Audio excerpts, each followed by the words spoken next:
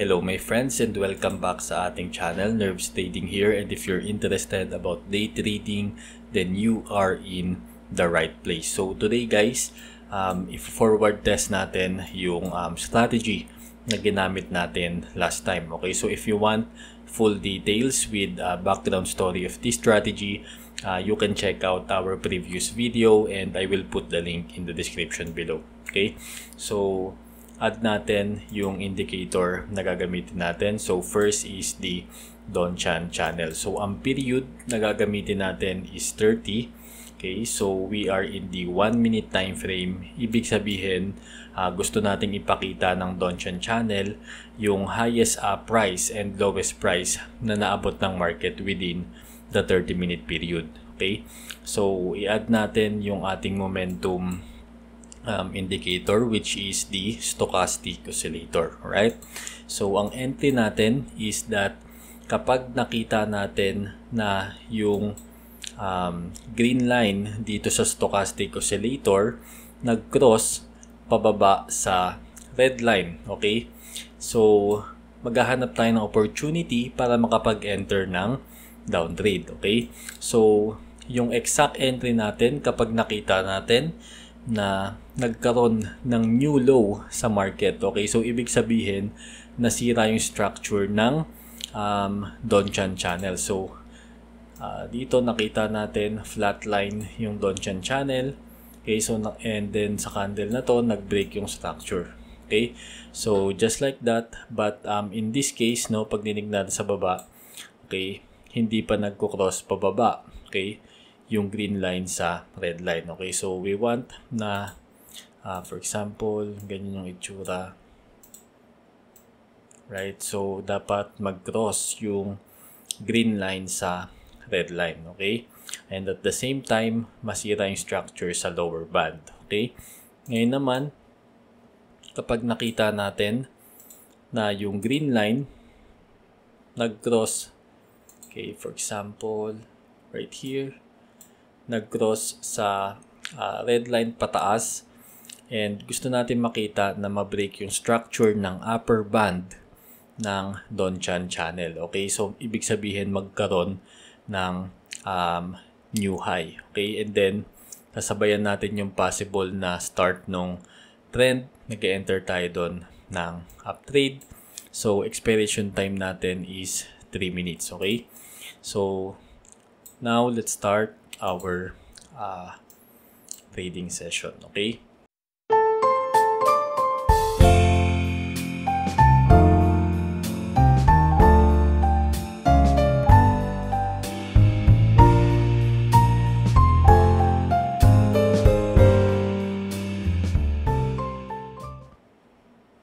So here sa NCD CAD, um, I think pwede tayo mag-enter dito ng down trade. Okay, so ito exactly yung hinahanap natin na setup for a down trade. Okay, so dito sa stochastic oscillator, nag-cross na yung uh, etong green line sa red line pababa. Okay, may kita natin uh, nagkaroon ng new low within the 30 minute period.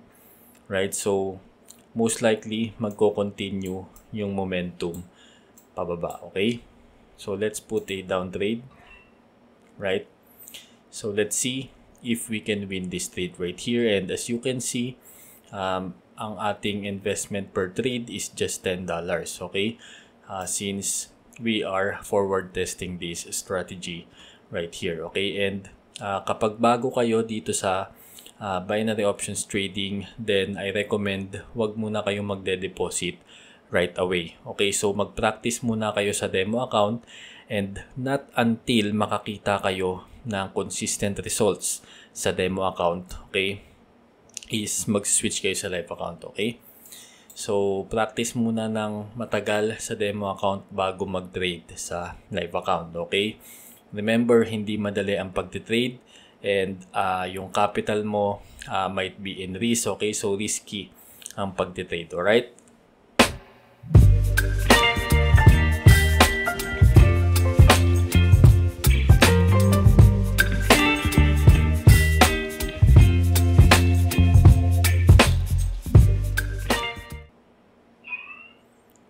guys, so we have won our first trade. So let's find another good opportunity. Alright guys, so this right here is magandang setup, okay? So as you can see, ito yung magandang setup sa Donchan channel. No? Pag nagkakaroon ito, um, it looks like stairs, okay? So time and time again, nagkakaroon ng new high, no? So ibig sabihin, uh, the trend is upwards and it is most likely to continue. Okay? So, hintayin lang natin na ma-break itong um, uh, high ng upper band ngayon. So, and also dapat mag-cross itong green line sa red line pataas. Okay? And um, if this successfully breaks the upper band, then most likely itong um, upper, uh, I mean, ayan, mag- nag-cross siya, no? So we will enter there an up trade. Okay, so let's see.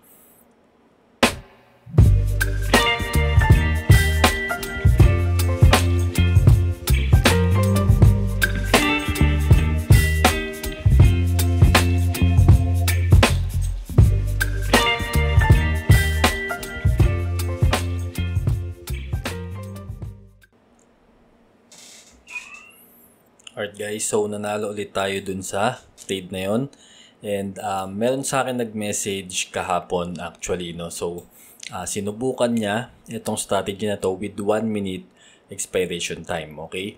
And ang nakuha niyang results is that nanalo siya ng tatlong beses sa apat na trades, okay? But of course, no, hindi pa natin masasabi that uh, yung 1 minute expiration time na yon is really effective since apat na trades nga lang yon no? So that's why guys, um, always, okay? So, practice first in the demo account and find a style that fits your personality, okay? So, let's find another good opportunity. Alright guys, so ito no, parehas siya nung uh, structure ng Euro GBP but this time, ito ay nasa downtrend, okay? So, again, it looks like stairs, no? Pero dito yung direction. Okay? So, it's in a downtrend. Tapos, may kita natin ngayon na yung green line magko-cross na. Actually, nag-cross na siya sa um, red line pababa. Okay? And uh, may kita natin bumaba na yung um, lower band ng ating Donchan channel. So, pwede tayo dito mag-enter ng downtrade. Okay?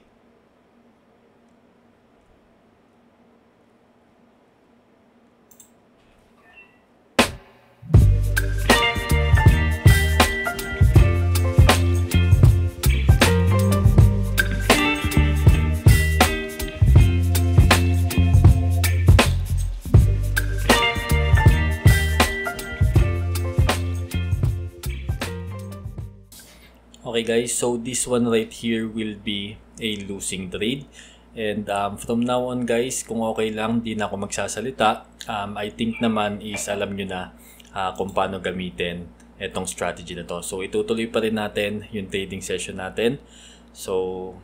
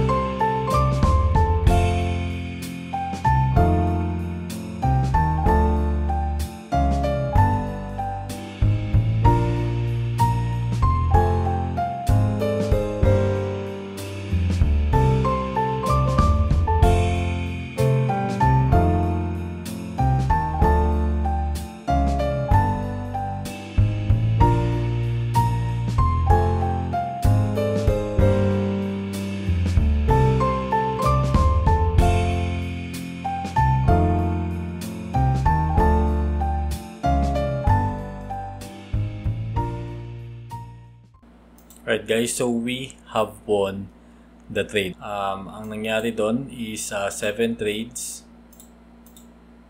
Nanalo tayo ng 6 times. Okay, so that's 85.7% win rate.